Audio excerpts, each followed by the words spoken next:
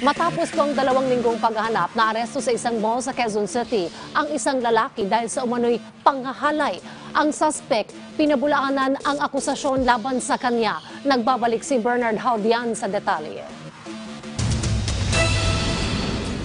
Habang nakatambay ang lalaking ito kasama ang ka-live-in partner sa isang coffee shop na nasa mall sa Quezon City kahapon, pinusasan siya ng mga tauhan ng Manila Police District Special Operations Unit. May warrant of arrest ang akusadong si Carl Soriano sa kasong rape dahil sa umunoy pangahalay sa isang babae sa Pasay City nitong 2018. Ayon sa pulisya, nagpakilala umano si Soriano ng photographer at inalok ang biktima na magiging cosplay model. Anya, pinangakuan ng biktima ng higit 7,000 piso na talent fee. Ngunit imbis na photoshoot ay pangahalay ang inabot ng biktima. Dati na rin naisumbong si Soriano ng complainant sa programa ni Senador Rafi Tulfo sa telebisyon.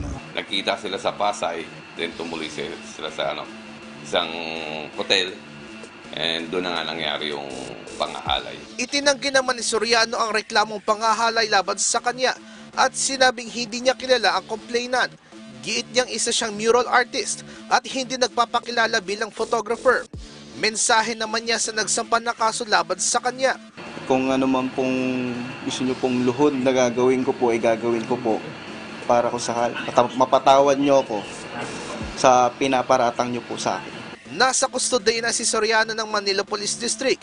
Pinag-iingat ng pulisya ang publiko mula sa mga mapagsamantalang individual sa social media. Manliligaw man yan, o gagawin kang model, or something, kikita ka sa pakikipag-usap sa kanya, wag na wag kayong makikipagkita o ibibigay yung tiwala nyo. Bernard Hojan para sa Morning Show ng Bayan, Rise and Shine, Pilipinas.